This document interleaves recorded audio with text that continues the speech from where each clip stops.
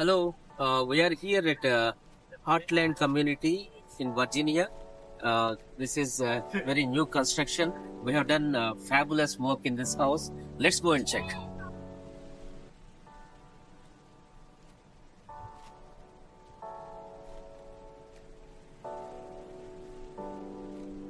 Yeah, this is the kitchen uh, we have recently completed in this uh, new house. It is a brand new house. Uh, we have done, uh, we have used uh, quartz. Uh, it's very new quartz in the market and uh, it has uh, nice patterns, the blue and the gray patterns. So for this kitchen, this is very customized kitchen. So we have done the thick edges. These are might called miter edges, and we did nice the waterfalls. These are nice waterfalls, and we did aligned uh, the patterns perfectly. And um, we used uh, one full slab for this without any joint. Can you imagine? Please uh, see this. Uh, is such a big uh, island without joint. And uh, one more good thing is uh, uh, we have done the full backsplash. It goes all the way to the the ceiling. So you can see that uh, it's up to the ceiling, and uh, we matched very well the patterns. If you can see, it flows like this.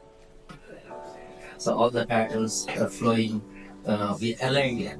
This is our uh, uh, very customized work and very nice work uh, uh, to align the patterns and you know this is very critical to get the nice product. Hope you like this product. Thank you.